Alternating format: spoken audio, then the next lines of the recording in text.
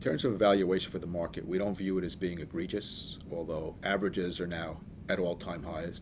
You compare that with the year 2000, which in retrospect was a much more overpriced market. Uh, I don't see, I don't get the sense of a bubble right now.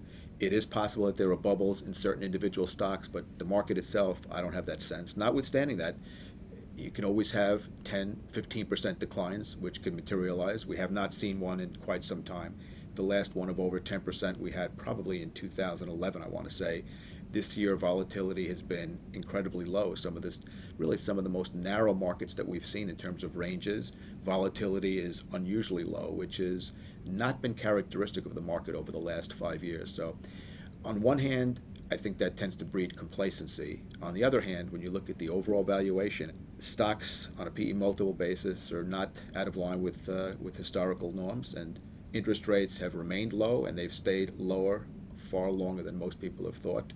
And based on the indication that the Federal Reserve has given, they're not expected to be rising dramatically in the next few years. The, uh, we're respectful of a market that's been up significantly since the lows of 2009.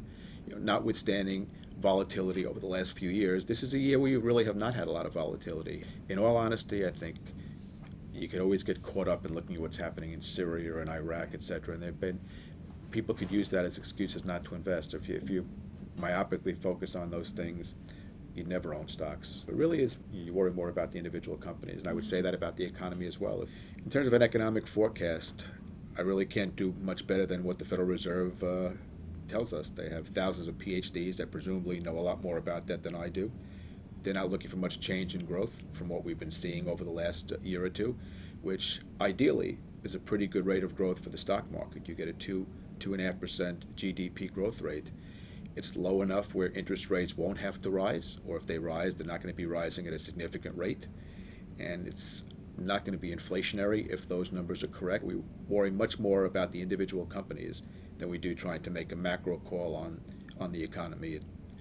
I don't want to mention it. There's always, you know, after 9-11, there's always the God forbid risk that you never get out of your mind, but that affects everything. And you can't defend yourself against that. Global risks, yeah, if the price of oil escalates to $150 a barrel, it obviously slows the economy. Most recessions have been related to, uh, you know, most recessions are normally related to big jumps in the price of oil or large interest rate jumps, which we have not witnessed over the last 10 years, or crisis of confidence. It's very difficult to forecast a crisis of confidence, difficult to forecast global global trends as that would affect oil.